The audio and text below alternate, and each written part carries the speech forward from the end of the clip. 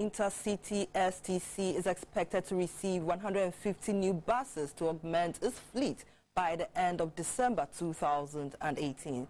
This will increase the total number of buses of Intercity STC from 70 to 220. The managing director of Intercity STC, Nana Akomea, says the arrival of these buses will enable the company to speed up parcel delivery services across the country and beyond.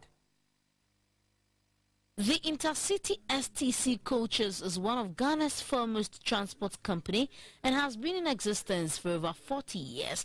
It is wholly owned by government and had a checkered history, but management of the company has over the last five years rolled out a strategic plan to enable STC recover lost grounds in terms of market share. STC plies between Accra and other capitals, namely Abidjan, Cotonou, Lomé, and Ouagadougou. As part of moves to make STC resilient and bolster its revenue generation, the parcel delivery department has been partnered with the private sector. 12 private companies bid for this partnership. Finally, GN Logistics, a fleet tracking and haulage company, won the bid to handle the parcel department of Intercity STC coaches.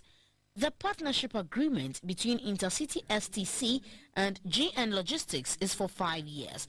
The managing director of Intercity STC Coaches, Nana Akomea, said the five-year partnership would rake in more revenue for government.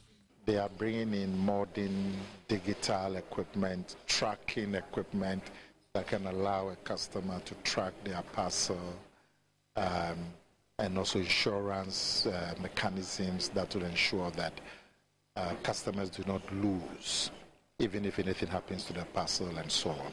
So they are bringing in a, a lot of private sector efficiency through modern equipment.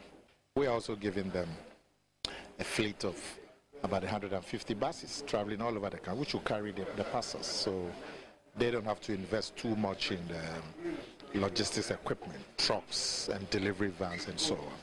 So it's a win-win situation. In the next one year, we will dominate the market completely.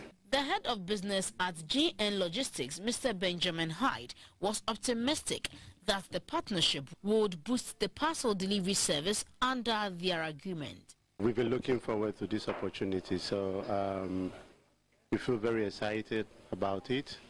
And we're very grateful for this opportunity that has come our way. We always believe that um, there is more for us to do.